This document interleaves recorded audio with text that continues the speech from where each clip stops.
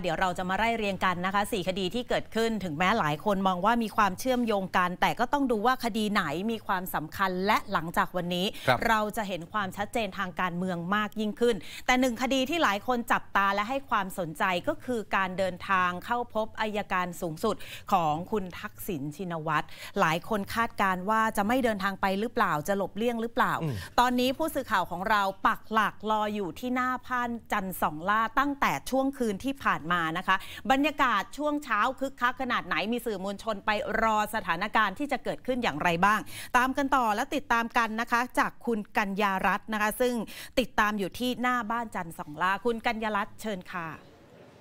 ค่ะคุณอุรชัยคุณปวีนาคะแม้ว่าบรรยากาศที่บริเวณหน้าบ้านจันทร์สองล่าตลอดช่วงเช้ามืดจนถึงขณะนี้ จะยังไม่มีการเคลื่อนไหวใด ๆ ยังไม่มีรถเข้าออกนะคะ แต่ว่าเมื่อสักครู่ที่ผ่านมาค่ะทางเจ้าหน้าที่ตำรวจสอนอบางพลัด ก็ได้มีการนำแผงเหล็กค่ะ มากันพื้นที่ไว้นะคะ เพราะว่ามีสื่อมวลชนหลายสำนักค่ะมาปักหลักเฝ้ารอสถานการณ์ ก็มีการกันไว้นะคะ เพื่อความปลอดภัย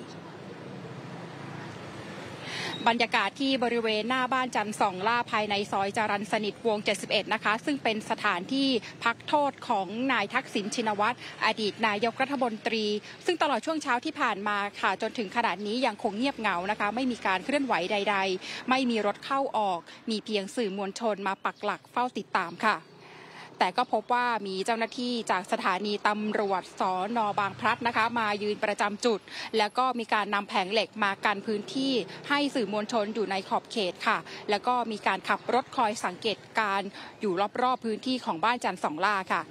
ขณะเดียวกันเจ้าหน้าที่รักษาความปลอดภัยของบ้านจันทร์สองล่าก็ได้มาเดินลาดตระเวน เพื่อตรวจสอบความเรียบร้อยเช่นเดียวกันค่ะ ตามกำหนดการนะคะนายทักษิณมีนัดหมายพบอายการเพื่อส่งตัว ยื่นฟ้องต่อศาลในคดีประมวลกฎหมายอาญามาตรา 112 และตามพรบคอมในช่วงเช้าวันนี้นะคะ ในช่วงเวลา 9 นาฬิกา หลังจากได้มีการเลื่อนนัดไปเมื่อปลายเดือนพฤษภาคมที่ผ่านมาเนื่องจากป่วยติดโควิดค่ะ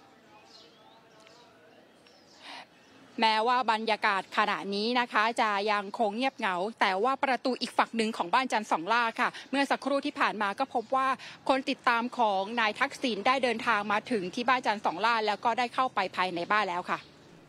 ขอบคุณคุณกัญญารัตน์ค่ะ ขอบคุณครับ นี่เป็นบรรยากาศที่ด้านหน้า บ้านจันทร์สองล่าก่อนหน้านี้มีคำถามกันว่าคุณทักษิณจะไปปรากฏตัวตามนัดหมายหรือไม่ค่ะ เมื่อวานเราเล่าว่าคุณหมอวรงค์เปิดเกมก่อนอืมคุณอ้างว่าคุณทักษิณป่วยเข้าโรงพยาบาลค่ะวันถัดมาคุณทักษิณเปิดหานค่ะชิมโชว์ แล้วก็ตระเวนชิมร้านอาหารที่เจ้าตัวชื่นชอบในอดีตนะครับ พยายามจะสื่อให้เห็นว่าไม่ได้กังวลอะไรกับนัดหมายหรือเปล่า จนกระทั่งเมื่อวานนี้ทนายความของคุณทักษิณออกมาเปิดเผยยืนยันว่าคุณทักษิณจะเดินทางไปพบอายการสูงสุด9โมงเช้าวันนี้ค่ะนะครับแล้วนั่นจะเป็นนิมิตหมายที่สำคัญแล้วต้องติดตามอย่างยิ่งคุณผู้ชมครับ ปฏิเสธไม่ได้ว่าการปรากฏตัวของคุณทักษิณจะถูกจับจ้อง ทนายความบอกว่า 9 โมงวันนี้จะไปพบอายการสูงสุดตามนัดในคดีความผิดตามมาตรา 112 ซึ่งเขาเตรียมหลักทรัพย์ไว้ประกันตัวด้วย ค่ะ เพราะเรื่องของการประกันตัวนี่เป็นเรื่องที่หลายคนให้ความสนใจคำถามคือคุณทักษิณจะประกันตัวได้หรือไม่ได้ นะครับคือจริงๆ เนี่ยก็มีความคิดเห็นจากหลายส่วนนะคะ โดยเฉพาะทางอดีตรองนายกรัฐมนตรี แล้วตอนนี้ก็เป็นที่ปรึกษาด้านกฎหมายของนายกรัฐมนตรี อาจารย์วิษณุเครืองามก็เคยบอกว่า ที่ผ่านมาเนี่ยเขามีการ ให้ประกันตัวกันมาอยู่แล้ว ในคคดีรับมาตรา 112 ดังนั้นก็ไม่แปลกอะไรหากคุณทักษิณจะได้ประกันตัวในวันนี้นะคะ ซึ่งก็มีความคิดเห็นจากหลายภาคส่วนนะคะ ภาคส่วนหนึ่งที่ออกมาแสดงความเห็นถึงเรื่องนี้ก็คือคุณวิสุทธ์ชัยนรุนค่ะ สสบัญชีรายชื่อพักเพื่อไทยที่แสดงความคิดเห็นนะคะ บอกว่าไม่ใช่ว่าพักเพื่อไทยจะต้องกังวลถึงประเด็นของคุณทักษิณจะเดินทางไปพบอายการหรือไม่ แล้วก็ไม่ได้กังวลเรื่องของคุณทักษิณและนายกรัฐมนตรี มั่นใจว่าทุกอย่างเป็นไปตามกระบวนการยุติธรรมที่ทางราชทัณฑ์จะสามารถชี้แจงได้อย่างแน่นอนค่ะ ซึ่งทางราชทัณฑ์ก็ชี้แจงครับ คือถ้าเกิดคุณทักษิณไม่ได้ขออภัย ถ้าคุณทักษิณเอ่อได้ประกันก็ก็จบไปค่ะถ้าไม่ได้ประกัน แล้วศาลมีคำสั่งฝากขังไปยังเรือนจำเนี่ยจะต้องถูกเจ้าหน้าที่ราชทัณฑ์คุมตัวเข้าเรือนจำครับเป็นการแยกออกจากคดีเดิมนะครับ ที่เจ้าตัวมีโทษจำคุกอยู่ และอยู่ระหว่างการพักโทษ อันนี้คนละคดีกันนะครับค่ะเพ ราะว่าในคดีความผิดใหม่นี้เป็นมาตรา 112 และกฎหมายคอมพิวเตอร์ เป็นคนละส่วนกัน ต้องถูกคุมขังในเรือนจำพิเศษกรุงเทพมหานคร เพราะว่าเป็นเรือนจำระหว่างพิจารณาคดีนะครับ ส่วนกรณีคุณทักษิณได้รับการพักโทษแล้วถูกคุมประพฤติอยู่ อธิบดีกรมราชทัณฑ์ครับคุณสหการเพชรนรินเปิดเผยว่าต้องมองผลการพิจารณาของศาล ถ้าศาลไม่อนุญาตให้ประกัน การพักโทษก็ไม่ได้มีผลอะไรฮะ เพราะผู้ถูกคำสั่งศาลจะต้องถูกนำตัวเข้าเรือนจำแต่การพักโทษจะไม่ได้มีอันยุติลงครับ ก็ยืนยันว่าสิทธิในการพักโทษยังอยู่ ระยะเวลาก็ดำเนินการไปตามปกติ จนกว่าจะครบ 6 เดือนตามกำหนดพักโทษเดิม เพียงแต่ช่วงที่ศาลสั่งควบคุมตัว การพักโทษไม่ได้เปลี่ยนแปลงอะไรครับ นี่คือคำยืนยันจากทางราชทัณฑ์นะครับเป็นคนละคดีกันนะคะ ส่วนประเด็นที่สังคมมองว่าถึงแม้คุณทักษิณไม่ได้ประกันตัว แต่ก็อาจจะใช้วิธีการ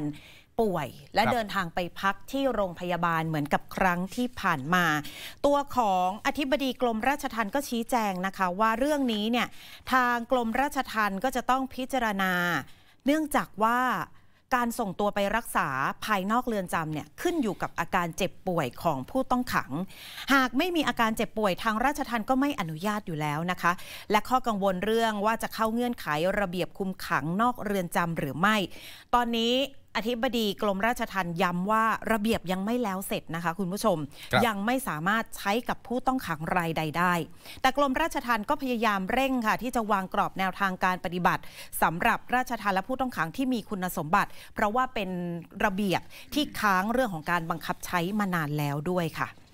นอกจากนี้อธิบดีกรมราชทัณฑ์ก็อธิบายนะคะ ถึงกรณีที่คุณทักษิณจะพ้นโทษในวันอาทิตย์ที่ 18 สิงหาคมนี้ ว่าหากมีการคุมประพฤติจนครบตามกำหนด 6 เดือนเสร็จสิ้น ก็ถือว่าพ้นการพักโทษ ส่วนขั้นตอนหลังจากนั้นทางกรมราชทัณฑ์โดยผบเรือนจำพิเศษกรุงเทพ จะดำเนินการออกใบบริสุทธิ์พ้นโทษ แล้วก็มีการส่งเอกสารดังกล่าว แจ้งไปยังสำนักงานคุมประพฤติกรุงเทพหนึ่งซึ่งเป็นหน่วยงานเจ้าของของพื้นที่ค่ะ ครับ